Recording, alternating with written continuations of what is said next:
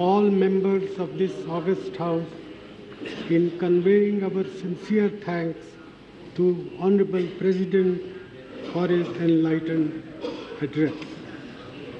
The debate on the President's address has been vigorous and wide-ranging.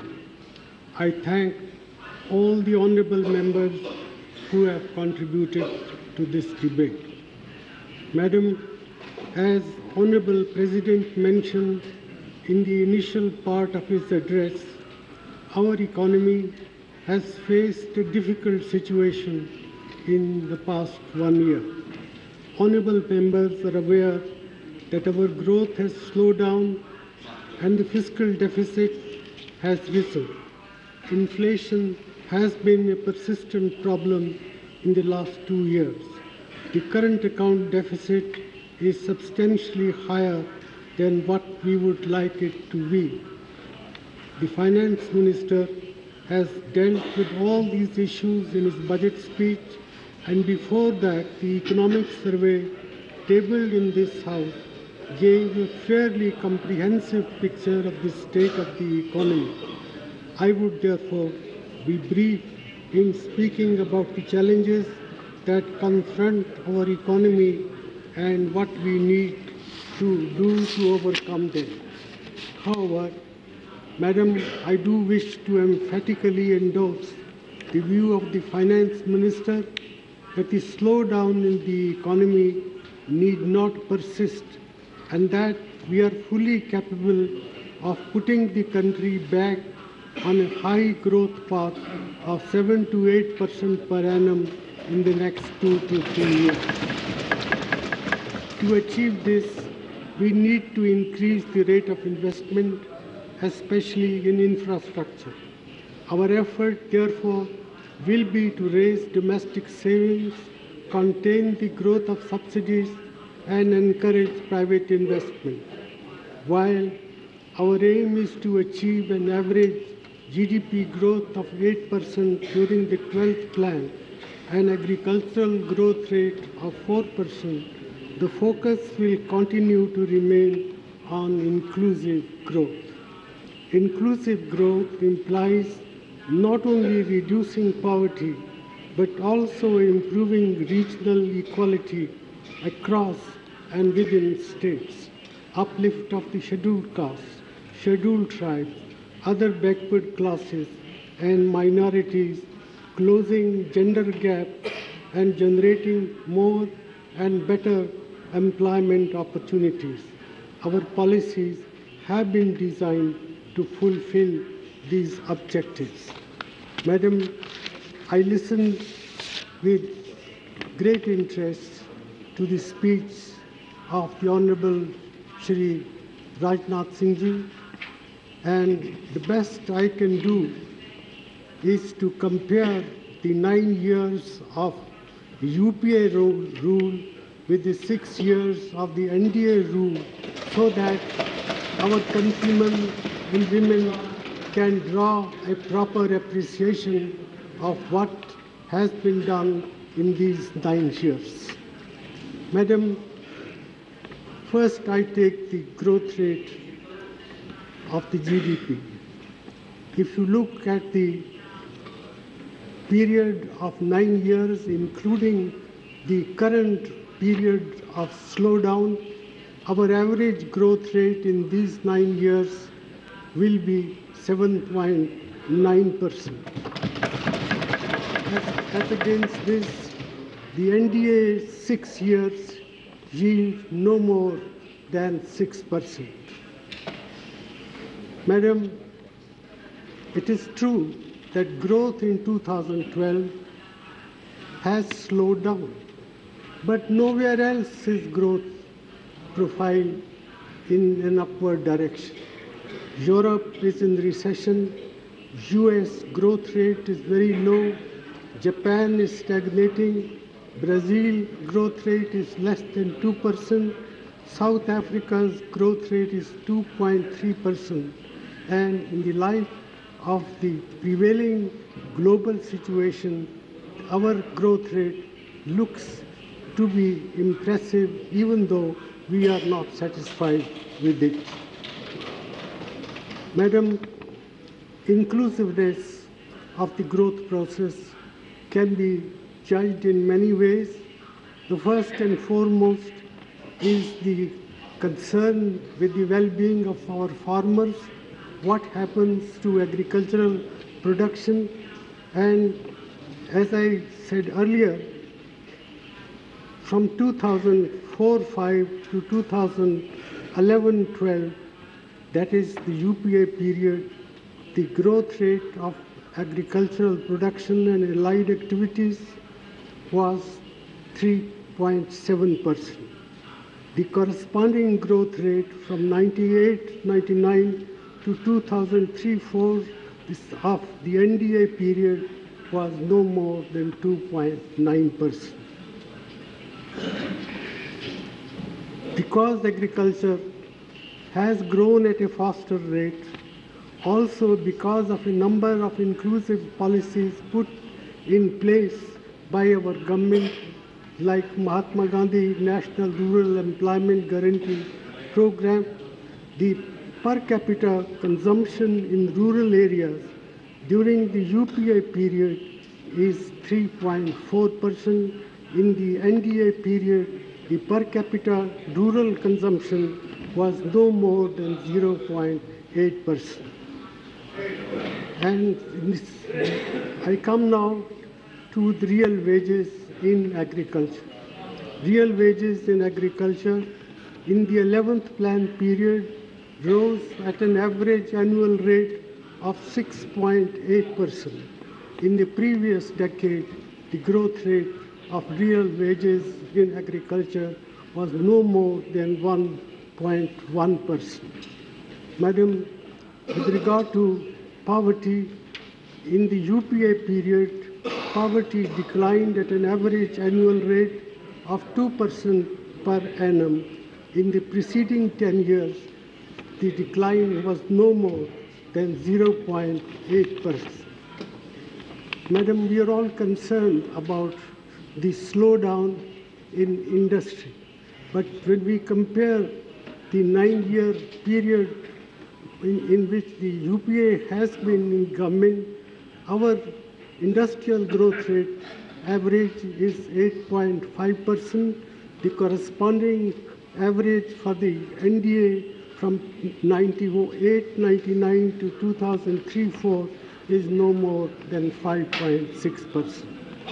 With regard to regional inequalities, interstate growth differential have narrowed and interstate inequality is not increasing. The so-called Bimaru states have also done much better in the, in the UPA period than was the case previously. In terms of education and skill development, also the achievements of the UPA are really notable. The key instruments for promoting inclusiveness and empowerment are education and health and skill development. There has been near universal enrollment in primary schools and a steady increase in average number of years of schooling of labor for labor force. The Right to Education Act is a major landmark of the UPA. And, Madam, with regard to higher education, there has been unprecedented expansion central universities, the number has gone up from 17 in 2004-5 to 44.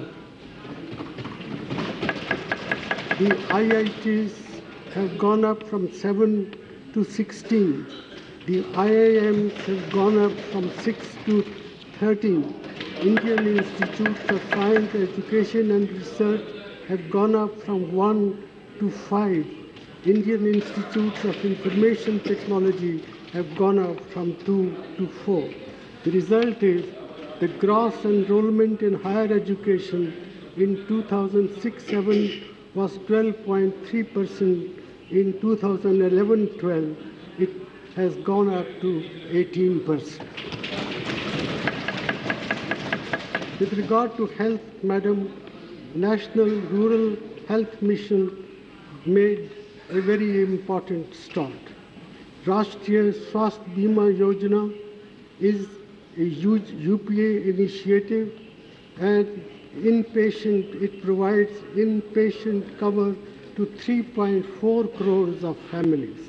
The infant mortality rate has fallen from 58 to 44. The maternal mortality rate has fallen from 254 to 212. Life expectation, life expectancy at birth was 2000 was in 2010 2001 2000 2000 2001 62.5 years. By 10 11 of this century it has gone up to 66 literacy rate similarly has gone up from 64.8 to 74 percent. The death rate has declined from 8.4% to 7.1%. Madam, it is not my case that what we have achieved is the optimum level. I do recognize growth requires further efforts to boost it, that we need to do a lot more to promote inclusiveness, that health, education require greater attention that environment protection measures have to be adopted with greater amount of firmness. But I would respectfully submit to this August House that what has been achieved is not something which can be belittled as Sri Rajnath Singh ji tried to do. I know the BJP has a particular view of economic and social policies of the UPA. A few days ago, a conclave of the National Council of the BJP assembled in Delhi used the choicest abuses for the Congress establishment, the Congress leadership, and including myself. It is not my intention to reply them in that language because I do believe that our work and our performance are the best judges that we have achieved. As a poet has said, हमको है उनसे वफा की उम्मीद जो जानते नहीं वफा क्या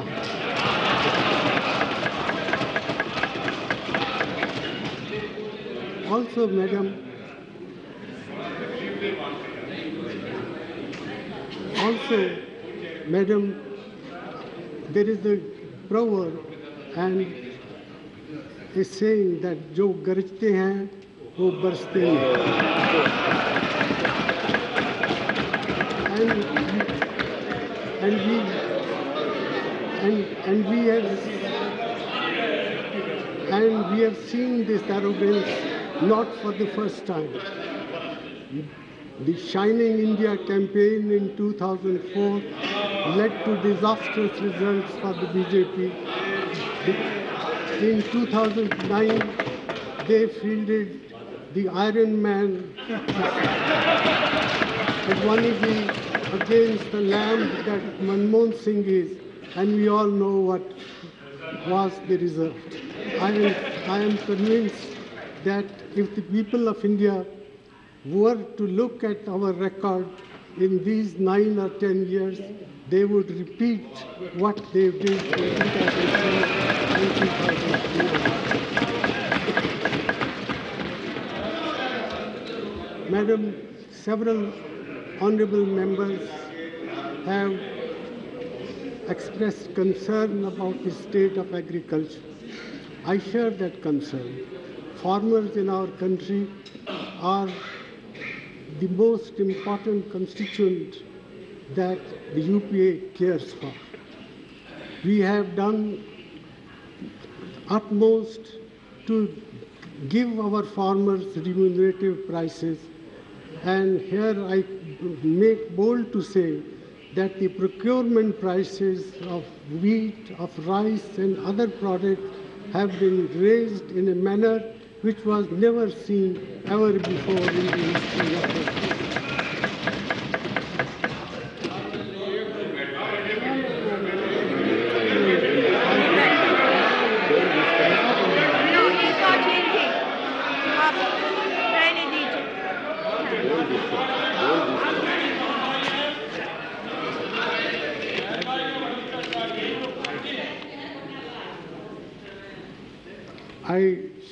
concern of the honorable members on the need for focused attention to the agricultural sector. That has been our priority.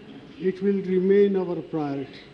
The achievements of our farmers in keeping us self-sufficient in food are indeed extraordinary. They work hard under adverse circumstances and they deserve all possible assistance. It is for this reason that we have increased the minimum support prices as never before. If we look at these prices across various commodities, they have increased by 50 to 200 percent since 2004-5. Since the year 2004, we have more than doubled the minimum support price for wheat and paddy.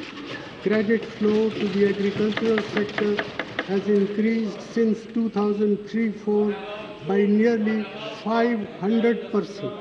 The 12th plan allocation for the sector has been fixed at over twice the size for the 11th plan.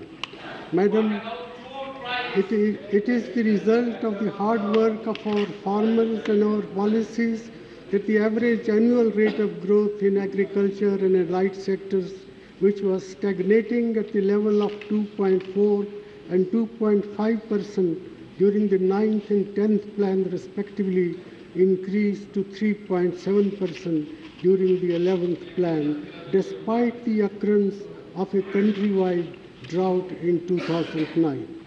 It is true that the growth of agricultural sector during 2012-13 is at present projected at 1.8 percent.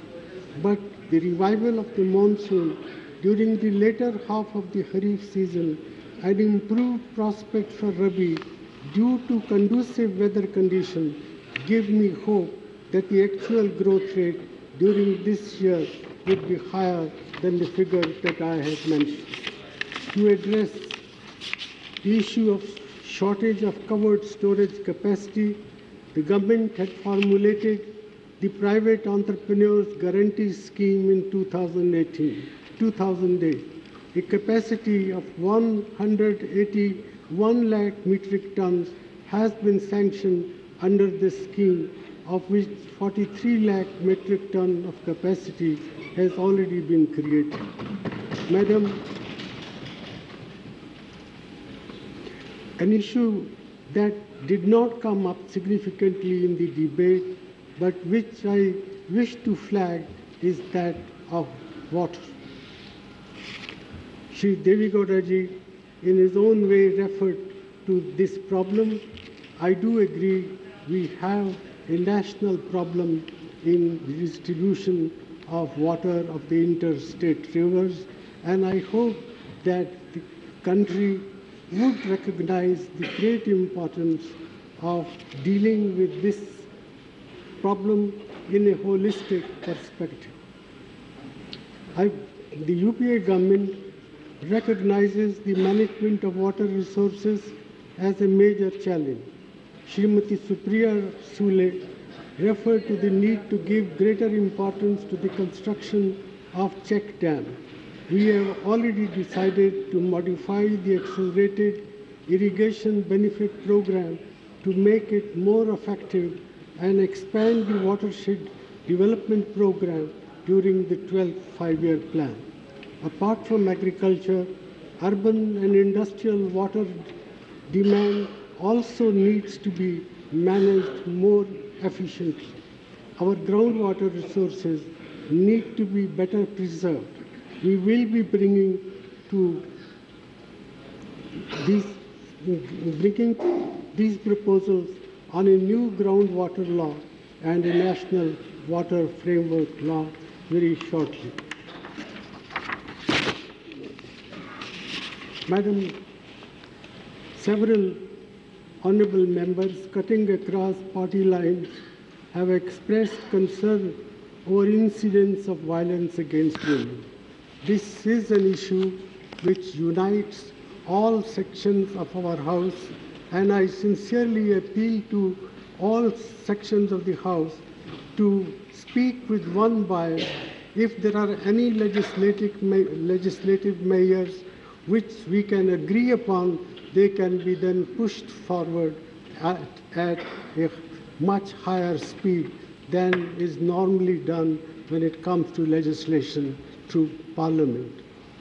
I sincerely hope that we will, with one voice, agree to agree to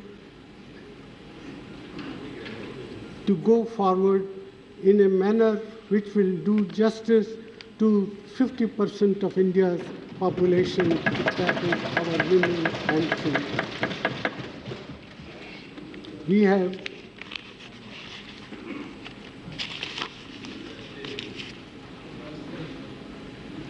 Let me reiterate to this August House the commitment of our government to ensuring the dignity, safety, and security of every woman of our country. We have adopted a series of measures, legislative, institutional, and procedural, which reaffirm the collective responsibility of this government in this direction as more and more women enter public spaces. The government has been prompt in action on the recommendation of the Justice Verma Committee by promulgating an ordinance amending and strengthening the law to deal with crimes of sexual violence against women. I am happy that the sexual harassment of women at workplace Prevention, Prohibition and Redressal Bill 2012 was passed by Parliament last week. We have a number of schemes in place to provide restorative justice to victims of rape and sexual violence through financial assistance and support services. The National Mission for Empowerment of Women would be implementing one-stop crisis center for providing all necessary services for women, victims, survivors of violence at a public hospital in 100 district. A new umbrella scheme for protection and empowerment of women and a toll-free 24 by 7 helpline for women as a central sector scheme across India is on the end. The government's resolve is further reflected in the announcement of the finance minister in his budget speech that an additional amount of rupees 200 crore has been allocated to the Ministry of Women and Child Development to address issues of gender discrimination. The Nirbhaya Fund of 1,000 crore rupees announced by the finance minister is further testimony of our government's solidarity with our girl children and with our women as we pledge to empower them and keep them safe and secure. However, real and effective change in the status of women in our country can come only if there is a change in our societal values. We need to collectively work towards this goal. Madam Speaker, some members have stressed the need to implement the Sachar Committee's report to raise the standard of living of the poor among the minorities. The Sachar Committee submitted its report in 2006. The government accepted 72 out of 76 recommendations made by the committee. The majority of the recommendations can be clubbed under education, access to credit, work, and special development initiatives. I believe that our government has done good work in each of these areas. The ministry, the Ministry of Minority Affairs today implements three scholarships and one fellowship schemes for minorities. Make it demand driven, please. During the 11th plan period, more than 1 crore students benefited from this scheme. In the year 2012-13, nearly 15%, nearly Nothing else will go in my 15% of the total priority sector lending has been availed of by the minority communities. In addition, the National Minorities Development and Finance Corporation has dispersed credit totaling over rupees 1,100 to nearly 5 lakh Muslim beneficiaries. The Waqf Amendment Bill 2010 has been approved by the Cabinet and will be introduced during the current session of Parliament. I am also happy to inform the House that contours of a national Waqf Development Corporation will be finalized in the near future. The multi-sectoral development program to provide basic amenities was launched in 90 identified backward minority concentration districts and is now being modified to focus at the block level. An amount of rupees 3,400 crore has been released to state government on this account up to February 2003. Besides this, several social sector ministries have been mandated to provide at least 15% of the outlays for the development of minorities under the Prime Minister's 15 points program. Madam, good governance is a sine qua non for the benefit of the programs of the government to be realized by our people. Towards this end, I would like to reiterate our commitment to ushering in reforms for greater transparency, probity, integrity, and accountability in governance. We are committed to the enactment of the legislations proposed in this regard, particularly the Lokpal Bill, the Whistleblowers Protection Bill, and the Prevention of Bribery of Foreign Public Officials and Officials of Public International Agents Organizations Bill, which already stand introduced in Parliament. I would seek the cooperation of all members of the House for expeditious passage of these pending lines. Madam Speaker, Shri Mulayam Singh Yadav raised the issue of corruption in the implementation of MGNREGA scheme and suggested its discontinuation. I would like to mention that the scheme which is implemented through the state governments provides a safety net to a very large number of rural families in times of distress. Our government has taken several measures to ensure transparency and accountability in the implementation of this scheme.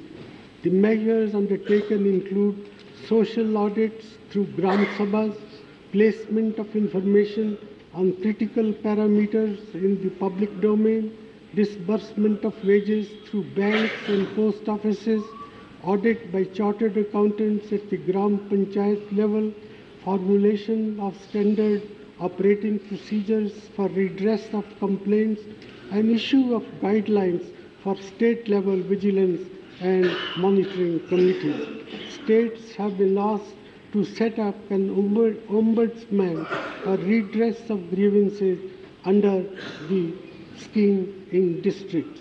The government is also considering the setting up of a concurrent evaluation office to evaluate the performance of various rural development schemes, including MGNREGA, with a view to enable mid-course correct correction.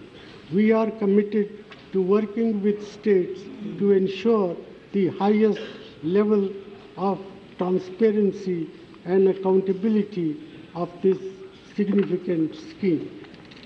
Madam, since the UPA came to power in 2004, we have sought to the extent possible to encourage and create an international environment conducive to our primary task of transforming India.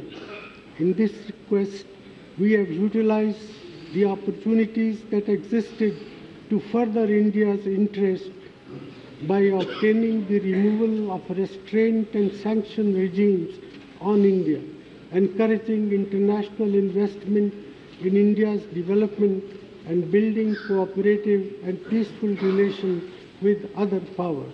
I can say with certainty that our standing in the world and our ability to pursue our interests has gone up in the last nine years. There is greater international understanding now of our challenges such as terrorism and there is a growing international acceptance of India's rightful place in the global political, economic and security architecture including the United Nations Security Council. We have safeguarded our interests in global negotiation on such vital issues as trade and climate change. We have increased our access to markets, capital, energy, minerals, and advanced technology. When faced with challenges such as the international financial and economic crisis, we have successfully mitigated its effect on India to a considerable extent. We have safeguarded our interest in global negotiations on such vital issues as trade and climate change. We have increased our access to markets, capital, energy, mineral, and advanced technology. Madam, members have raised the issue of human rights violation during the conflict in Sri Lanka and the lack of progress on reconciliation, accountability, and political devolution in Sri Lanka. The government takes the sentiment expressed by members very seriously. We are firmly of the view that issues of reconciliation and political devolution in Sri Lanka need to be addressed with a sense of urgency. For the past three years, we are, we are keeping quiet. Past three years, government of Kenya, Please. lukewarm. Please, please, please. We have consistently called upon the government of Sri Lanka to fulfill its public commitment for the implementation of the 13th Amendment and for building further on it so as to achieve a meaningful political settlement. We have also urged that elections to the Northern Provincial Councils be held at the earliest and have called for effective and time-bound implementation of the constructive recommendation contained in the Lessons Learned and Reconciliation Commission report. This was also the message, Madam, I conveyed to President Rajapaksa during his visit to India in September 2012. We will continue to remain engaged with the government of Sri Lanka to implement these steps and take forward the process of reconciliation and settlement. As regards the issue of a draft resolution expected to be tabled by the United States at the forthcoming session of the UN Human Rights Council in Geneva, our decision will depend on the substance of the final text tabled in the Council. We will, however, be guided by our consistent positions that we support proposals that seek to advance the achievement of a future for the Tamil community in Sri Lanka that is marked by equality, dignity, justice, and self-respect. I wish to assure the House that our government will remain engaged with the government of Sri Lanka to promote a durable settlement of the Tamil problem that enables the Tamil citizens of Sri Lanka to lead a life of dignity and self-respect with equal rights. I also assured the member that we will remain engaged with the government of Sri Lanka with regard to the welfare, safety and security of our fishermen to ensure that fishermen on both sides can continue to pursue their livelihood in a safe, secure and sustainable manner. I would also like to respond to concerns raised by some members on China. At the outset, I wish to underline that India and China are two large neighboring countries with a long history of civilization civilizational interaction. In my view, there is enough space in the world today for both countries to achieve their development aspirations. While we do have differences over the border issue, since 1988, we have evolved mechanisms to address the issue and to maintain peace and tranquility on the border. Having agreed to guiding principles and political parameters for a boundary settlement with Premier Wen Jiabao in 2005, today our special representatives are discussing a framework for settlement of the boundary. Members will understand that this is a complex and sensitive issue and that its resolution could take time. Pending a settlement, both sides are committed to maintain the status quo and peace and tranquility in the border area. Last year, our two countries established a new mechanism to ensure this. We are also agreed that differences on the boundary question should not come in the way of mutually beneficial cooperation. We will continue to manage our overall relations with China with maturity, recognizing opportunities for common development and convergence of interests with China on many regional and global issues.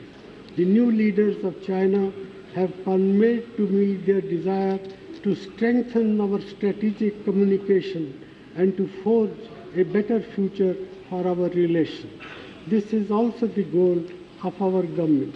We should engage the new China confidently and constructively in a spirit of national consensus. Madam, some honorable members mentioned China's dam building activities on the upper reaches of Brahmaputra. We can and we do use diplomatic engagement and dialogue to ensure that these activities which are taking place on Chinese territory do not in any way harm the livelihood of our people and our ecology. We have raised these concerns with China at every level and as a result have begun dialogue and cooperation with China on trans-border rivers. Upon recent reports about new dams being planned on the upper reaches of the Brahmaputra, China officially assured us that these are run-of-the-river projects and will not result in water storage. We will also continue to assure ourselves on this regard using our own means. I assure honorable members that we remain vigilant about all developments in India's periphery or elsewhere that could affect our security, unity and territorial integrity and we will take all necessary measures to respond to them. Madam, concern has been expressed in the House about the situation in Maldives. India has always stood for a stable, prosperous and democratic Maldives. As a close and friendly neighbor, India remains concerned about the ongoing political instability in Maldives since the transfer of power in February 2012. We have closely engaged with all political forces and stakeholders in Maldives and encourage them to resolve their issues through dialogue. Madam, it's our hope that Maldives will have free, fair and inclusive elections in September to elect the new president. The Election Commission of Maldives has announced that presidential election would be held in September 2030. India will support all efforts to ensure a free, fair, credible and inclusive presidential election that can contribute to durable peace, stability and prosperity in the Maldives. We will continue to monitor the situation and take all necessary measures to strengthen our relations with and to protect our interests in Maldives. Madam Speaker, our dialogue with Pakistan continues in order to normalize our relations promote bilateral cooperation and people-to-people contacts, and resolve outstanding issues. Progress has been possible in some areas like trade and people-to-people contact, but incidents such as the barbaric manner in which two Indian soldiers were killed on the line of control in January 2013 vitiate the atmosphere and cast a shadow on the bilateral dialogue process. Further, we are yet to see tangible progress in dismantling the terrorism infrastructure in Pakistan and in bringing to justice the perpetrators of the Mumbai terror attack of November 2008. Normal, good neighborly relations between India and Pakistan, free from the threat of violence and enhanced bilateral economic cooperation would be in our mutual interest. Madam, we also expect Pakistan to take steps to create a conducive environment to take the process of normalization forward. We have an abiding interest in strong, stable, united, democratic, and prosperous Afghanistan, which is no longer a safe haven for terrorism. As Afghanistan undergoes political, economic, and security transition in 2014 and beyond, we will continue to help build Afghan capabilities to evolve peacefully and fight terrorism and extremism. Madam Speaker, honorable members have also raised a number of state and sector-specific issues during the debate. While I am not going into these issues for want of time, I would like to assure you that we have taken note of them. I am advising my colleagues to make sincere effort to address them to the satisfaction of honorable members. With these words, Madam, I once again join members in thanking the Honorable President for his insightful address, which I commend for adoption with acclamation.